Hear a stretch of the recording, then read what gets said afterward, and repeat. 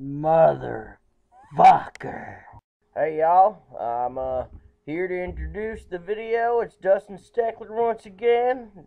Um here to introduce uh a movie that would definitely take a chunk out of the zombie genre. it's uh Zombie or Zombie 2 or Zombie Flesh Eaters. Either way, uh, Bill's gonna review it. I'm just doing the intro.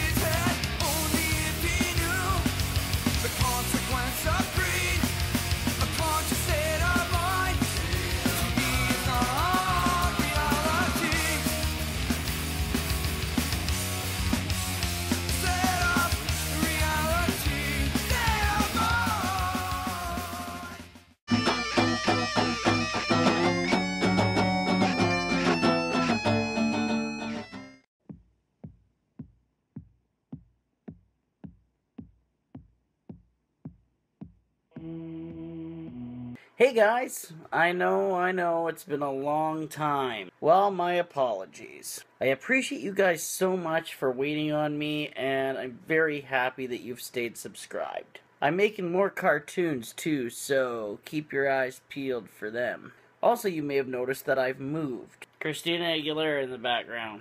Not my place, staying with a friend. And I have a beard now, a big one. So today on Rotting Flesh, being how it's zombie month, we will take a look at a movie from 1979 directed by Lucio Fulci, that classic being Zombie. Or Zombie 2, or Zombie Flesh Eaters, or Zombie. It's kind of considered the Italian sequel to Dawn of the Dead. I guess it's unofficial. It's also one of the banned Video Nasties. So we get this kick ass opening music.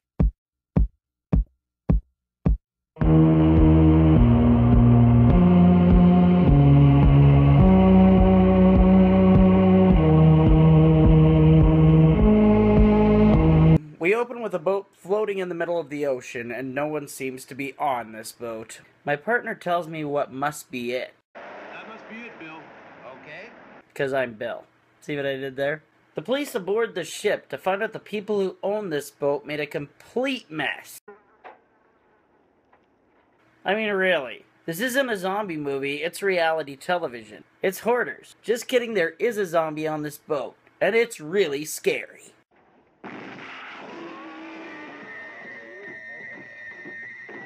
That was surprisingly effective makeup, wasn't it? Let's see that again in slow motion.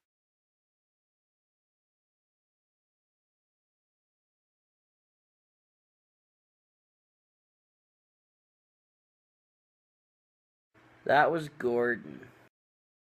A news reporter named Peter is sent to investigate the boat. On the boat, we meet a girl named Anne who is being questioned by police about her father because he owns this boat. There's a lot to do with this boat. Tell me a little more about this boat, man. She tells the Porksters that her father is on a Caribbean island doing science stuff. Eventually, Peter and Anne meet, and if you put P to the beginning of Anne, their names together would be Peter Pan. Dr. Dave is Anne's dad. He and his wife are on an island researching zombie reanimation jazz. Of course, we get the classic Italian bitch slap. Wouldn't be a movie from Italy without it. They're very passionate, passionate people. We get a wicked scene where a zombie fights a shark, but I'm not going to show that. Buy the Blu ray, not the DVD. We also get a pretty iconic eye gouging scene. Basically, Peter and Anne, along with some other characters, end up going to the island to find Anne's father. The group eventually, of course, finds themselves surrounded by zombies and they have to fight their way out in an epic battle. The final couple frames in this movie are just beautiful, too. I really don't want to say too much more. Now, first off, I gotta say that the direction was good here. I think I've seen better directed movies, but there's nothing wrong with this. It's kind of a sleazy and dirty little movie, so it fits that it shouldn't be entirely pleasant to look at. It definitely fits the Fulci style, and as a zombie movie, it works really well. So much I've heard it be called the ultimate zombie film, which I can honestly say rings true. The sets were all amazing, as was the lighting. And I'd have to say that the atmosphere in this movie was pretty much like exactly what it needed to be. This movie just screams atmosphere, which is not unlike Fulci to do, along with like a million other fucking Italian horror masters. the rating for this is pretty straightforward, but it tells a great kind of Tales from the Crypt esque zombie story with a touch of mad scientist. The dialogue was just typical for the time. The acting in Zombie was decent enough. This movie doesn't call for great acting, but the entire cast did a pretty good job for what they had to work with. The characters themselves are more or less memorable. And I think the best thing in this movie, and the true highlight, is of course the zombies. And there are some amazing, hauntingly beautiful moments of zombie carnage, man, and they just stick in your brain forever.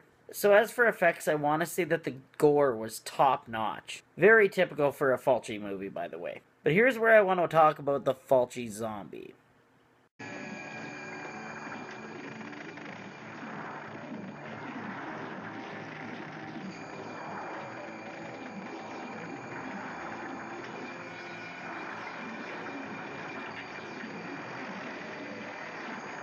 Fulci zombies are zombies of their own. They have a certain look which many people have tried to copy but never really get quite right. They're also known for moving really slow. And they're dead, rising from the fucking grave.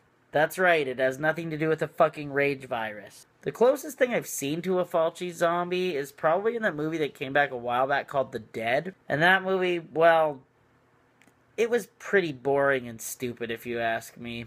The music in this is like exactly what every Italian movie pretty much had at this time, and the 80s in general. I love the music from this era. It was simple, but it sounded great. Can I recommend Zombie? That's an undeniable yes. This is probably my third favorite zombie film of all time. I have a DVD and a Blu ray. It's loaded to the teeth with features, and the packaging is visually stimulating. I give Zombie 10 out of 10. I love it. I love it. Give me more. It's just that good. Thank you for watching. Have a great day. That Magic Production.